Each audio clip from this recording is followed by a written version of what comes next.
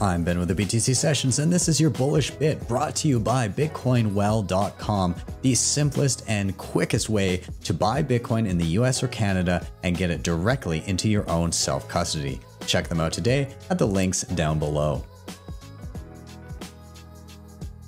But I am bullish on pleb miners. When you think about decentralization, there's there's really two ways of looking at it: physical and digital decentralization. Physical decentralization is when you know you have someone you have miners all over the world people plugging in space heater s9s or Bitaxes or uh, apollos anything like that um, making sure that there's always still going to be someone mining in case you know the government says no more of this or you know massive storm wipes out 300 megawatts or something like that. Um, but then on the more scary side uh, is digital decentralization, where um, the block templates are basically just being white labeled by one entity, Bitmain. You know, oh, I can you know convert my shed outside to have you know 10 S19J Pros or something like that.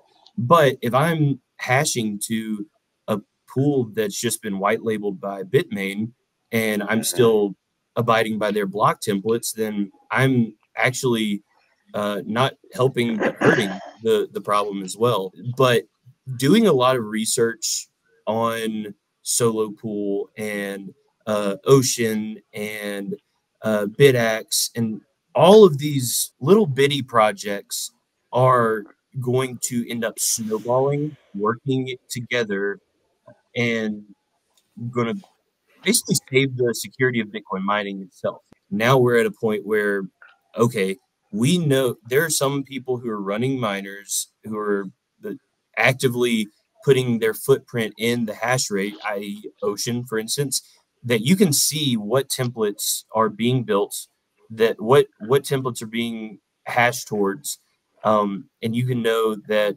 my transaction, if anyone, Ocean's going to pick that one up because I know that Ocean has it in in their mempool. Um, so all over the the realm of physical digital decentralization. I I am bullish on pleb miners. And also just saw it in chat one Zeta hash by 20 by the end of 2024 i promise you that's going to happen. I have some sats on the line with adam o from upstream data but i am bullish because when one one domino falls they all fall except for the plebs because those aren't in the domino line